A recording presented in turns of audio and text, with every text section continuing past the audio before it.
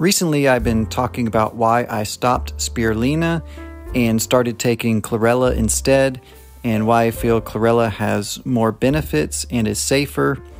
And I have a deeper, in depth discussion comparing the two, which I'll leave a link in the description if you're interested. But I recently actually stumbled across a study which compared spirulina versus chlorella, which I'd like to talk about today.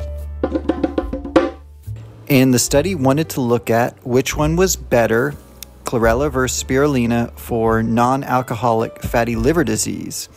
And non alcoholic fatty liver disease is fairly common in the US. It's estimated that 25% of the population has it. So, if you're someone listening, you may have it as well, and this could be something that could really benefit you.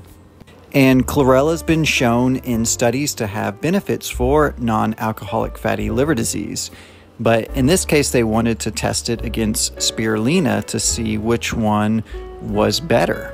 And it was tested on 66 patients with a placebo group, a chlorella group, and a spirulina group. And they found that weight significantly decreased in both intervention groups, chlorella and spirulina and I did a previous episode on some weight loss results for chlorella and some studies which showed some significant weight loss with chlorella. And this is really good for non alcoholic fatty liver disease because that's basically an excess of fat that's being built up in the liver. So any kind of weight loss is good and I'll leave a link to the to that video as well with those studies and chlorella can really help with weight loss. And they found that a marker for liver inflammation decreased in both intervention groups. But when they compared the two intervention groups, chlorella and spirulina, against each other, they concluded, they said, the results of this research indicated that chlorella vulgaris supplementation could decrease weight and improve lipid profile and liver function in patients with non alcoholic fatty liver disease more than spirulina supplementation. So they found that chlorella was better and more beneficial in this case.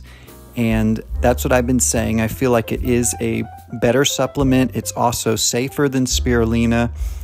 And you don't have some of the B12 analog concerns as well. Chlorella has actually had studies where it has active B12, which has raised B12 levels in those taking it, which is a great thing. So, hopefully, this chlorella versus spirulina study was useful to you. I'll leave links down in the description if you'd like to check the study out for yourself.